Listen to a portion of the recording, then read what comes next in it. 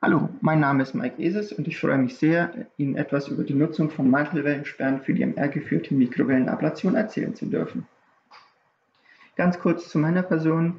Ich bin Student an der Otto von Guericke Universität in Magdeburg im Master Medical Systems Engineering und habe zusätzlich eine Stelle als Hiwi, also als Hilfswissenschaftler, am Forschungscampus Stimulate inne und werde dort vom Lehrstuhl für EMV betreut. Warum die Mikrowellenablation so wichtig ist, möchte ich darlegen, indem ich ganz kurz auf die Bevölkerungsentwicklung der letzten Jahre eingehe. Hier links sieht man die Lebenserwartung in Deutschland und man sieht, dass sowohl Männer als auch Frauen durchschnittlich einfach älter geworden sind. Hier rechts sieht man die Krebsinzidenz in Deutschland, sprich die neuen Krebsfälle pro Jahr. Um etwas auf die Zahlen einzugehen, würde ich gerne den Durchschnitt betrachten, was das Lebensalter betrifft. Hier in Rot dargestellt, da wurden die Leute 1999 etwa 78 Jahre alt und 2016 werden sie schon 80,8 Jahre alt. Um hierfür dann auch noch die Krebsinzidenzen, die gesamten Krebsinzidenzen zu betrachten, sprich die Zahlen von Männern und Frauen addiert, äh, sieht man, dass 1999 etwa 408.000 Menschen Krebs hatten und 2016 haben bereits 492.000 Menschen Krebs. Das ist ein Zuwachs von etwa 20,6 Prozent.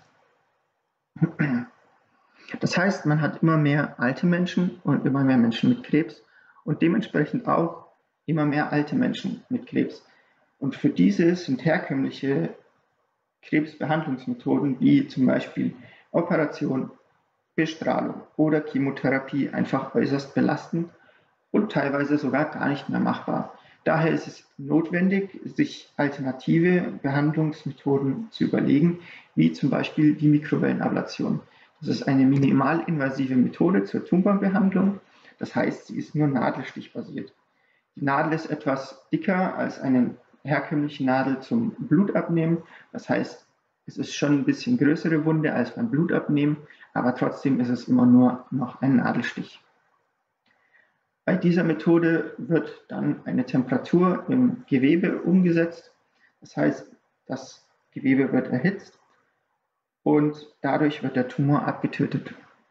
Mit einem Sicherheitssaum von etwa 5 mm oder mehr kann man die Rezidivrate erheblich senken. Das heißt, der Krebs tritt weniger wahrscheinlich wieder auf. Wenn die Rezidivrate äh, hoch ist, dann würde der Krebs aller Wahrscheinlichkeit nach wieder auftreten. Das Ganze muss natürlich mittels Bildführung positioniert werden, denn man möchte ja die Nadel innerhalb dieses hier in dunkelem Grau dargestellte Tumor, in diesen dunkelgrau dargestellten Tumor einführen, der sich hier in dem hellgrauen Leberlappen befindet. Und da das Ganze eben nicht aufgeschnitten wird, sondern von außen eingeführt wird, hat, braucht man eben eine Bildführung. Die typischen Bildgebungsmodalitäten wären zum Beispiel Ultraschall, welcher besonders günstig ist und auch eine sehr hohe Verfügbarkeit hat. Jedoch hat er nur eine sehr geringe Eindringtiefe und einen sehr hohen Rauschanteil. Das heißt, man kann tiefer liegende Tumore nicht finden und auch so sieht man auf so Ultraschallbildern nicht immer sehr viel. Dann gibt es die Computertomographie. Da ist der Vorteil, dass es momentan eben Stand der Technik ist und dementsprechend eine hohe Verfügbarkeit vorhanden ist. Jedoch gibt es einen sehr schlechten Weichfallkontrast. Das heißt, man kann sehr schlecht zwischen dem gesunden Gewebe und dem tumorösen Gewebe unterscheiden. Was aber natürlich sehr wichtig ist, denn man möchte ja nicht zu viel gut gesundes Gewebe abtöten. Außerdem wird hierbei mit ionisierender Strahlung gearbeitet. Das heißt, sowohl der Patient als auch der Arzt bekommen hier eben eine Dosis von ionisierender Strahlung ab. Dann gibt es noch die Magnetresonanztomographie, mit der wir eben arbeiten. Da sind die Vorteile, man hat eben keine ionisierende Strahlung. Man hat einen sehr hohen Weichteilkontrast, das heißt, man kann sehr gut zwischen dem hier dargestellten Tumor und der Leber in diesem Fall eben wieder äh, unterscheiden. Man kann auch als Alleinstellungsmerkmal direkt aus der Bildgebungsmodalität selber Temperaturkarten erstellen und kann damit eben quantifizieren, ob der Tumor abgetötet worden ist oder nicht und ob der Sicherheitsraum Saum eingehalten worden ist oder nicht. Das dient auch als Alleinstellungsmerkmal des MRs. Äh, dann gibt es natürlich auch noch ein paar Nachteile und der wohl größte Nachteil ist, dass äh, das MR sehr anfällig gegenüber Interferenzen von externen Geräten ist, wie es zum Beispiel unser Mikrowellenablationsgenerator wäre. Das führt dann dazu, dass man eben auch sehr starkes Rauschen in dem Bild bekommt. Aber gerade für Temperaturkarten braucht man ein artefakt- und rauscharmes Bild. Eine reale Ablation würde in etwa so aussehen. Da ist hier ein MRT. In diesem ist der Patient eingebracht. Das hier ist die Zuleitung der Ablationselektrode. Und dann gibt es eben noch ein paar andere Geräte und natürlich auch Ärzte und Schwestern, die diese Operation bzw. diesen Eingriff überwachen und durchführen. Dabei kommt es eben zu Störungen, die sich auf den langen Zuleitungen bilden, die wir dämpfen möchten. Diese Störungen sind Gleichtaktströme Ströme bei der Frequenz von 123,25 MHz, die bei einem 3 Tesla MRT eben zur Bildgebung genutzt werden und daher müssen diese Störfrequenzen äh, gedämpft werden. Außerdem haben wir noch ein paar weitere äh, Anforderungen. Wir wollen zwei Koaxialkabel durchführen, da die Ablationselektrode eben zwei Koaxialkabel benötigt. Da eins davon zum Transport der HF-Leistung dient und das andere zu einem intern verbauten Temperatursensor führt. Außerdem muss das Ganze Dämpfen in einer klinischen MRT-Umgebung stattfinden. Das heißt, es muss nicht magnetisch sein, aufgrund des starken Magnetfeldes des MRTs und es muss auch irgendwie mit Sterilität im klinischen Sinne vereinbar sein. Wenn man hierbei dann die Möglichkeiten, die typischen Möglichkeiten der Dämpfung sich mal genauer anguckt, kann man eben Ferrite nicht nehmen, da diese nicht magnetisch sind. Nicht, nicht magnetisch, Verzeihung. Und so ein Trap-Ballon oder ein Bazooka-Ballon würde dazu führen, dass das Kabel an Sterilität verliert, da man, so, da man dort an den Kabelschirm heran müsste. Das Kabel aufrollen ist nun mal auch nicht sonderlich praktikabel, da es sehr ungenau ist und nicht sehr reproduzierbar in einer klinischen MRT-Umgebung. Daher fallen diese Möglichkeiten alle raus und wir haben uns dazu entschieden, die Floating Cable Trap zu nutzen da diese eben auf unsere Bedürfnisse angepasst werden kann.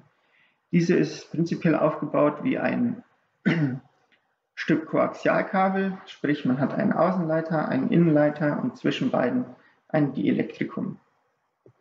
Die Resonanzfrequenz, eben bei uns 123 MHz, ähm, kann über den Abschluss mit Kondensatoren eingestellt werden. Außerdem sieht man auch hier, wir können zwei Koaxialkabel ganz bequem durchführen. Äh, in der Realität haben wir das dann so gelöst, dass wir einen 3D-Druck äh, aus Polycarbonat genutzt haben, mittels Schienensystem und außen drauf Kupferfolie und innen drin auch Kupferfolie aufgeklebt haben. Und diese dient dann eben als Innen- und Außenleiter und dann haben wir eben einen Kondensator eingelötet.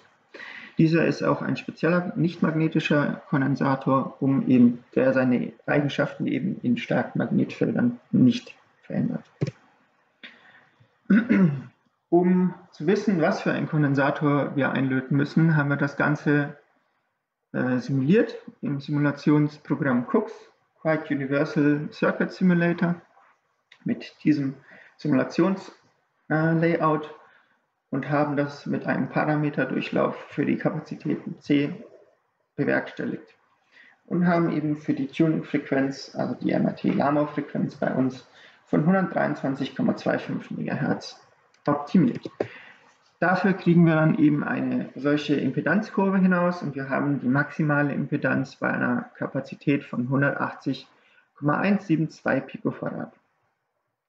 Dementsprechend haben wir 180 Picofarad eingelötet in die Mantelwellensperre und das Ganze, also diese ganze Floating Cable Trap Anordnung dann eben an einem Netzwerkanalysator mit einer S21-Messung verifiziert. Dabei haben wir eben auch zwei Koaxialkabel aufgebracht. Diese wurden mittels Ferritklemmen direkt an den Port 1 und den Port 2 angeschlossen des Netzwerkanalysators und zwischen beiden sieht man die Floating Cable Trap. Dann haben wir eben die Dämpfungskurve genommen, einmal mit Floating Cable Trap, einmal ohne. Ohne Floating Cable Trap in Gelb, mit in Blau und hier sieht man die Zielfrequenz von 123,25 MHz. Und man sieht schon, dass wir mit unserem Dämpfungspeak sehr, sehr genau diese Frequenz treffen. Die Abweichungen können davon kommen, dass wir nicht die 172 genutzt haben, da wir so kleine Kondensatoren nicht da hatten. Oder aber eben von Lötstellen oder anderen Hardwareabweichungen wie unterschiedlichen Kupferlängen des, ähm, der Kupferfolie und dadurch eben einer anderen Induktivität, die sich durch die Kupferfolie entgeben, ergeben hat. Denn das Ganze ist ja ein Resonanzkreis, der sich aus Kapazität und Induktivität ergibt. Genau, unser Versuchsaufbau für die MRT-Messung, da wir natürlich auch wissen wollten, wie das sich das Ganze in der MRT-Umgebung eben verhält, orientiert sich hierbei sehr stark am interventionellen MRT und sah uns so aus. Wir haben hier eine Elektrode äh, in ein Wasserphantom eingebracht, haben darüber eine Empfangsspule gepackt und dann nach und nach die Floating Cable Traps aufgebracht.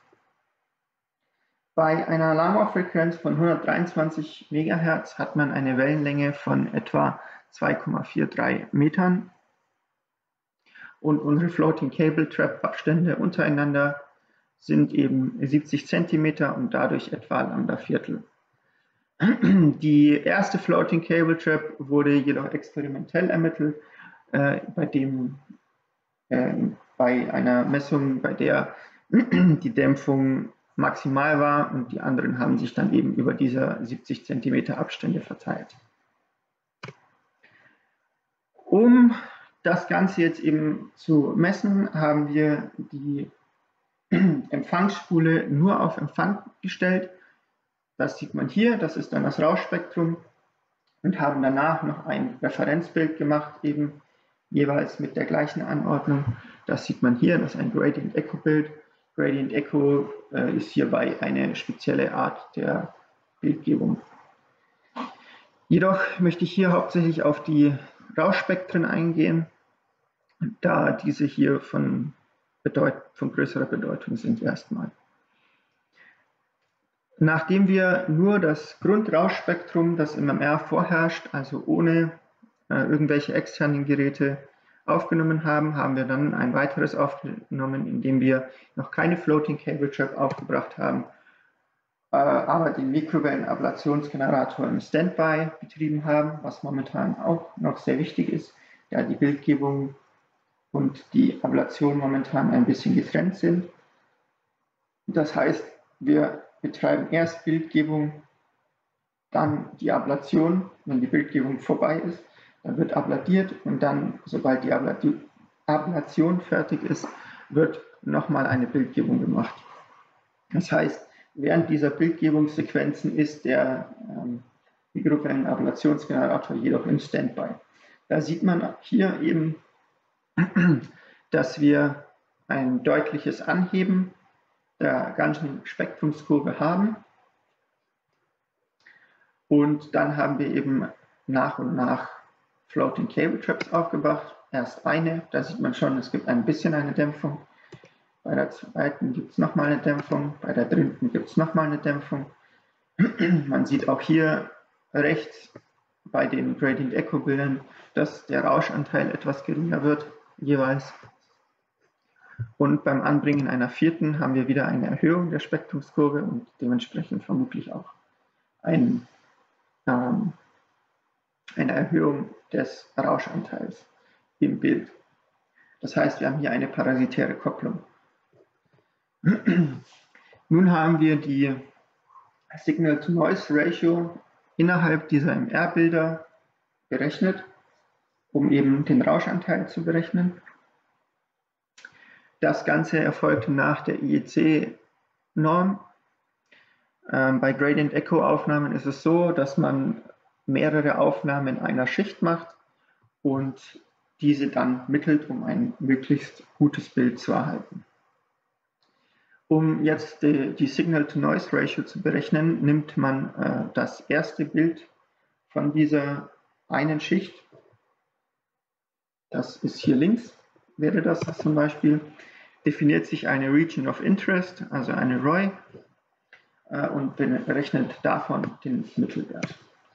Dann zieht man das Ganze von dem nächsten Bild ab in dieser Schicht und erhält dadurch eben ein pixelweißes Differenzenbild, hier rechts dargestellt, hm.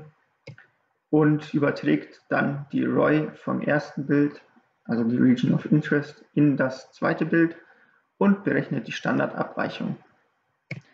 Und das Signal-Rausch-Verhältnis ergibt sich dann über diese Formel, also den Mittelwert der Region of Interest geteilt durch die Standardabweichung durch Wurzel 2. Das Ganze haben wir natürlich auch gemacht. Ähm, hier möchte ich nur mal für, auf die wichtigsten eingehen eben. Und zwar die, hier grün umrandet die Referenz mit reiner Bildgebung. Da haben wir ein SNR von etwa 49,73 berechnet. Da gibt es noch ein paar Nachkommastellen, deswegen ist es hier nur gerundet. Und sobald wir den Mikrowellenablationsgenerator einschalten, aber noch keine Floating Cable Trap eingebracht haben, äh, senken wir damit das äh, Signal-Rausch-Verhältnis auf etwa rund 16, also 15,9 hier in Orange dargestellt. Nun erhöhen wir das Ganze wieder bei drei Floating Cable Traps auf 44,3. Ähm, das sieht man hier. Das ist schon mal ganz gut, aber leider haben die eben, auch hier sieht man es wieder, auch im Signalrauschverhältnis im Bild, haben wir hier 43,72, das heißt unser Signalrauschverhältnis wird wieder schlechter. Das möchte ich, das bringt mich dann auch schon zu, meiner, zu meinem Fazit. Also wir haben unser bestes SNR eben mit drei Floating Cable Traps, also mal abgesehen eben von den Grund SNR. Ähm, und von dem Grund SNR erreichen wir eben mit drei Floating Cable Traps wieder etwa 88,5 Prozent davon, was schon sehr gut ist. Jedoch haben wir eben eine parasitäre Kopplung nach drei Floating Cable Traps, das heißt, wir dämpfen, also wir verschlechtern uns wieder. Das heißt, wir dämpfen schlechter. Um dieses parasitäre Kopplungsverhalten eben weiter zu untersuchen, möchte ich ein bisschen auf den Ausblick eingehen. Da haben wir einen solchen Teststand, den wir gerade am Aufbauen sind, um eben das Ganze besser zu verstehen und zu untersuchen und gegebenenfalls auch verhindern zu können. Außerdem möchten wir die Temperaturabhängigkeit einer der einzelnen Floating Cable Chips äh, etwas betrachten, da das Systeme von hoher Güte sind und wir natürlich da auch gerne Bescheid wüssten.